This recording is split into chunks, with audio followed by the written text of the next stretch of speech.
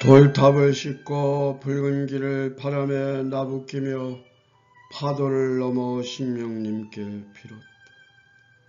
어찌한가 황후만을 모시고 가락에 왔을까 내내 외구의 성난 고래를 막고자 재염 비범 천패경이여 권령 자막해도 기도 도안 부황옥하고 천고 남의 알로경이라.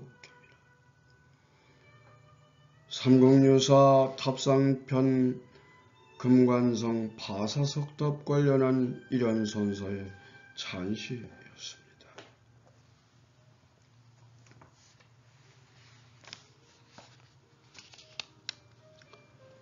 여기 재염 비범 아, 천패경이라고 하는 것은 이게 비범이라고 하는 것은 아, 여기죠.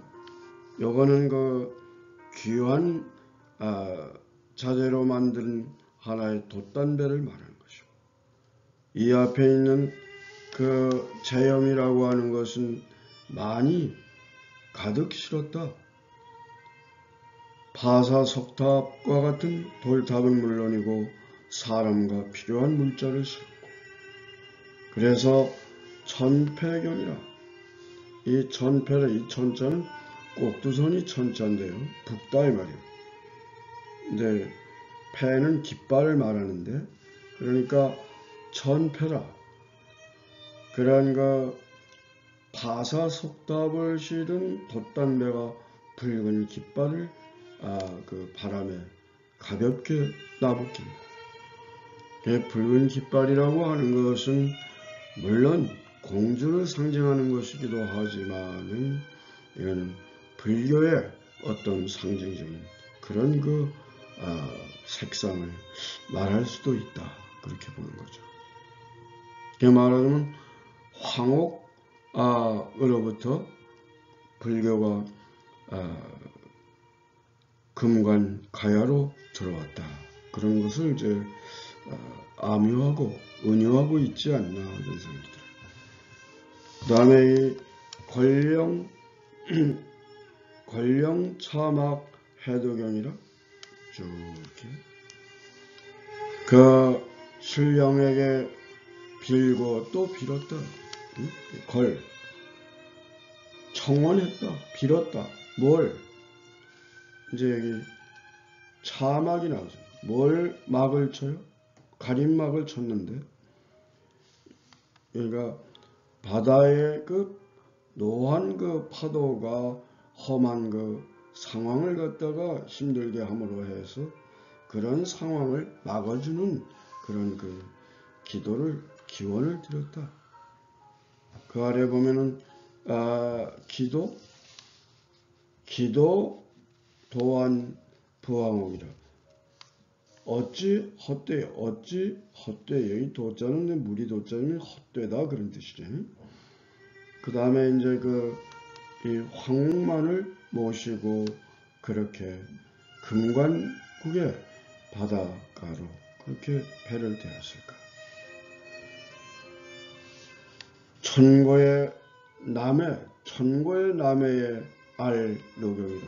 여기 그 알이라고 하는 것은 말하자면 마그랄자인데 예로부터 남쪽으로 쳐들어오는 외구의 그런 그 노도와 같은 그 성난 고려와 같은 그런 외구들을 막아주는 그러한 그 기원을 드리려 함이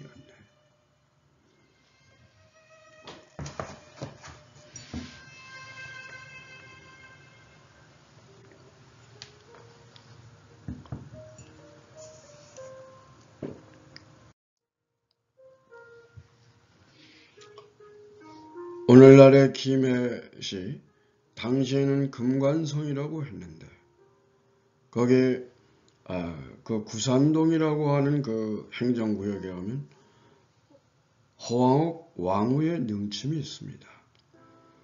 그 들어가는 입구에 보면 호계사에서 옮겨온 5층 파사석탑이라고 이름을 하는 그 탑이 있는데요. 수로의 왕비였던 허왕옥, 허황우 황옥이 동안 건무 24년 갑신년 48년 무렵에 인도인 서역 아유타국으로부터 배에다 싣고 왔다. 그렇게 삼국유사 가락국기에는 기록하고 있습니다. 처음이 아유타공의 공주인 허황옥이 그 부왕이었던 아, 아유, 아유타국의 임금의 꿈에 나타나서 김수로 왕의 그런 그 나라를 발전시키기 위해서 그대의 딸을 보내라고 하는 그런 명을 받들어서 바다를 건너 동쪽으로 향하게 해서 떠나도록 했는데 그런 바다신의 노여움을 받아가지고 풍랑으로 그 가야국으로 가질 못하고 되돌아와서 아버지 부왕인 아유타공의 왕 임금에게 그런 사연을 얘기했습니다. 아유타공의 임금은 아유타공의 황제는 파사석답을 배에다 싣고 가라고 다시 일러주었어요.